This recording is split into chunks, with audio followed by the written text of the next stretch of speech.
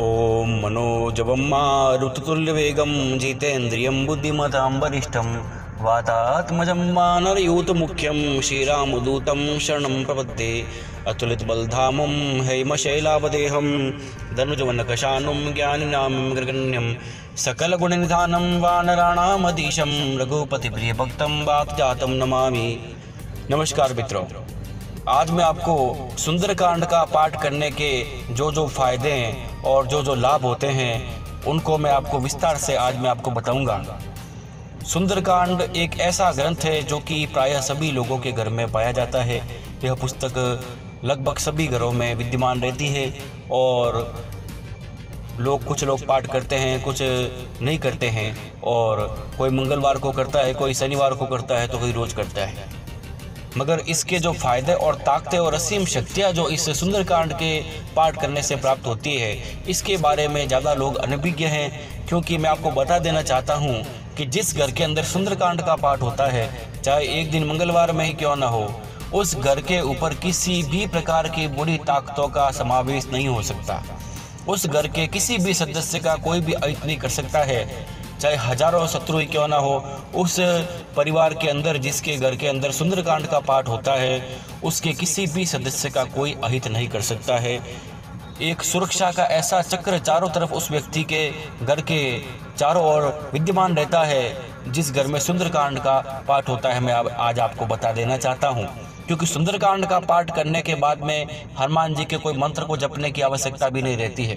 क्योंकि अगर आप नित्य रूप से या मंगलवार, शनिवार भी हनुमान चालीसा का पाठ करते हैं, सुंदरकांड का पाठ करते हैं तो अवश्य ही सुंदरकांड के पाठ से ऐसी ताकतों का समावेश होता है, ऐसी शक्तियाँ हमें प्राप्त होती है, जिससे कि हर प्रकार से हमारी और हमारे पूरे घर परिवार की रक्षा होती है और बुरी ताकतों का, बुरी नज़र का समावेश नहीं हो सकता। सुंदरकांड, बड़ा ही दिव्य और अलौकिक एक प्रसंग है और लंका से जुड़ा हुआ है और हनुमान जी ने ताकतों का प्रदर्शन करके जो लंका का विध्वंस किया है, उससे जुड़ा है और बड़े ही मनोरम जो इसमें कथन है, जो कि मन को बड़ा ही शांति प्रदान करने वाले होते हैं। यहाँ तक कि इतना कहा गया है कि जिसके घर में सुंदरकांड का एक बार भी अगर पाठ होता है तो उसके घर में किसी प्रकार की ग्रह बाधा नहीं हो सकती है। नवग्रह उसके अधीन रहते हैं, जो हर मंगलवार को सुंदरकांड का पाठ करता है, क्योंकि मंगल सबसे ताकतवर ग्रह होता है, और जिसका मंगल मज़बूत हो गया, उसका कोई कुछ नहीं बिगाड़ सकता, चाहे हज़ार शत्रु सामने आ जाए, मगर उसको कोई अहित नहीं कर पाएँगे। यह ताकत होती है सुंदरकांड का पाठ करने की। और हनुमान जी से जुड़ा कोई भी मंत्र या पाठ अन्य किसी मंत्र से अधिक शक्तिशाली नहीं हो सकता। क्योंकि हनुमान जी के सारे मंत्र और पाठ सबसे ताकतवर है और हनुमान जी अपने भक्तों को उनकी उपासना के फल में बल और शक्ति और सुरक्षा यह तीनों चीज़ें प्रदान करते हैं, सिद्धि भी प्रदान करते हैं। और हनुमान जी को प्रसन्न करने के लिए अमूमन हनुमान चालीसा का पाठ तो सब लोग करते ही हैं। बड़े बूढ़ों से लेकर सब लोगों को, ज़्यादातर लोगों को हनुमान चालीसा याद होती है। मगर सुंदरकांड की बात कुछ और है, क्योंकि सुंदरकांड का पाठ करना अर्थात 1100 बार हनुमान चालीसा का पाठ करने के बराबर है।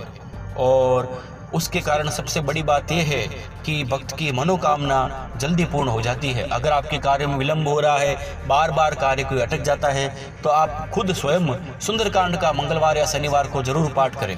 सुबह करें या शाम को करें, मगर ज़रूर करें। चमेली के तेल का दीपक जलाएँ, रोट का, गुड़ का भोग लगाएँ, उसके बाद आप सुंदरकांड का पाठ करें। सुंदरकांड गोस्वामी तुलसीदास द्वारा लिखी गई सात अध्यायों में से पांचवा अध्याय है, और रामचरितमानस के सभी अध्याय बड़े ही महत्वपूर्ण हैं, मगर सुंदरकांड का महत्व अत्याधिक है।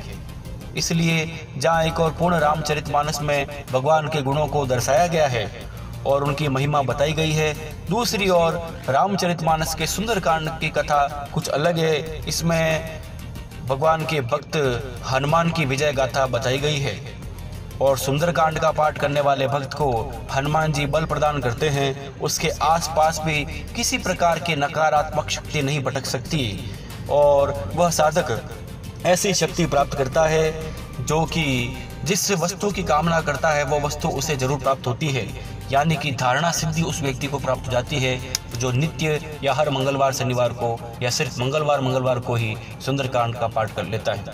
और उस व्यक्ति का आत्मविश्वास भी इतना बढ़ जाता है कि कोई काम अटक नहीं सकता। सुंदरकांड का पाठ करने से सभी काम स्वतः ही बनने लग जाते हैं।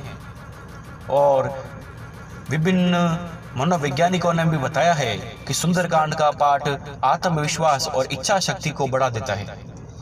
और इस पाठ की एक एक पंक्ति और उससे जुड़ा हुआ अर्थ भक्त को जीवन में कभी हार न मानने की सीख प्रदान करता है। इसलिए हर मंगलवार को सुंदरकांड का पाठ अवश्य करना चाहिए। और विद्यार्थियों को तो बड़ा ही आवश्यक है सुंदरकांड का पाठ करना, क्योंकि विद्यार्थी जीवन एक ऐसा होता है जहाँ भटकाव की तरह तरह की चीज़ें उनके मार्ग में आती है, उनकी पढ़ाई के अंदर चाहे किसी प्रकार की चीज़ हो तो उनके रुकावटें पैदा करती है। बुरी संगत हर प्रकार से सुंदरकांड कर वो व्यक्ति पाठ करता है तो अवश्य ही वो अपने मार्ग से बिल्कुल नहीं भटक सकता है और अपने लक्ष्य को ज़रूर प्राप्त कर लेता है। और यह सूत्र यदि व्यक्ति अपने जीवन पर अमल कर ले, उसे सफल होने से कोई रोक नहीं सकता। इसलिए यह राय दी जाती है कि सुंदरकांड का पाठ ज़रूर कर लें और कम से कम मंगलवार मंगलवार को तो अवश्य सुंदरकांड का पाठ करें और आप खुद देखेंगे कि आपके जीवन में भी और आपके घर में सकारात्मक शक्तियों का समावेश होगा, शांति होगी और सब काम स्वतः ही बनते चले जाएँगे और कोई प्रकार की बाधा आपको नहीं सताएगी। इसमें संदेह नहीं है। इसके अलावा ज्योतिष के नज़रिए से हम देखें तो सुंदरकांड का पाठ घर के सभी सदस्यों के ऊपर मंडरा रहे अशुभ ग्रहों से भी छुटकारा दिला देता है। जो व्यक्ति पाठ करता है, उसके ग्रह तो शांत हो गए ही। साथ ही साथ उस घर में रहने वाले और भी लोग जिनके ग्रह बाधा से वो परेशान है, पीड़ित है, काम अटक रहे हैं, काम बिगड़ रहे हैं, हर प्रकार की कोई प्रकार की बाधा है, चाहे मानसिक बाधा है, वो सारी बाधाएँ दूर हो जाती है। और जो पाठ कर नहीं सके तो पाठ सुने। और सुनने से भी वह लाभ प्राप्त होता है और अशुभ ग्रहों का दोष भी दूर करने के लिए सुंदरकांड बड़ा ही लाभकारी है। एक तीसरी बात इसकी ये है कि सुंदरकांड पाठ करने से आत्मिक लाभ मिलता है, यानी कि हमारी आत्मा की शुद्धि। आत्मा शुद्ध होती है और सुंदरकांड का पाठ करने से आत्मा परमात्मा से मिलने के लिए तैयार होती है यानी कि हमारे मन की भी इस प्रकार से शुद्धि हो जाती है कि हम परमात्मा के उस द्वार में प्रवेश करने के योग्य बन जाते हैं, जो कि लाखों करोड़ों लोगों के लिए भी बड़ा ही दुर्लभ है। और सुंदरकांड का पाठ करने से हमें एक ऐसी जीवन में हमें ऊंचाई मिलती है, हम उस ऊंचाइयों को छू सकते हैं और दुनिया में हम अपना एक अलग छवि बना सकते हैं, क्योंकि जिसका मंगल मज़बूत हो गया है, उसको कोई संसार की ताकत रोक नहीं सकती। वो जहाँ हाथ डालेगा, वो कार्य पूर्ण होकर ही रहता है। और एक अलग बात इसकी ये भी है कि हर प्रकार से रोगों से भी सुंदरकांड के पाठ करने से छुटकारा मिलता है। क्योंकि सुंदरकांड का पाठ एक तीर से कई निशाने लगाने का काम करता है। इसके पाठ करने से रोग और जर्जरता समाप्त होती है और दरिद्रता भी खत्म होती है और रुपये पैसे की आवक भी घर में बननी शुरू हो जाती है। मानसिक सुख भी इस सुंदरकांड के पाठ से प्राप्त होता है। यानी कि जो व्यक्ति जिस घर में सुंदरकांड का नित्य या मंगल शनिवार, रविवार को पाठ होता है तो सुंदरकांड का पाठ के कारण, निरंतर करने के कारण उसके घर में और स्वयं उस व्यक्ति के मन में मानसिक सुख और शांति की प्राप्ति होती है।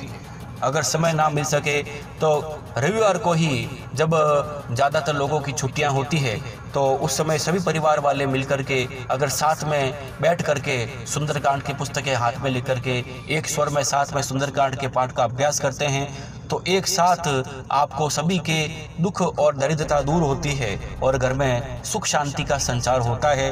बुरी शक्तियों को उस घर से चले जाना पड़ता है। और हर प्रकार की अनहोनी से भी हमारी रक्षा होती है। यानी कि अगर आप किसी ऐसे स्थान पर रहते हैं जो कि सुनसान क्षेत्र है, या आपको हमेशा कोई ना कोई अनहोनी होने का, बुरी घटना होने का डर रहता है तो ज़रूर ऐसे व्यक्ति को तो सुंदरकांड का पाठ करना ही चाहिए। खुद देखेंगे, उनका मनोबल मज़बूत होगा और चारों तरफ़ सुरक्षा का चक्र उस व्यक्ति के विद्यमान रहेगा, जो कि आने वाली समस्याओं से उसको छुटकारा दिला देगा। इसमें संदेह नहीं है। धन्यवाद।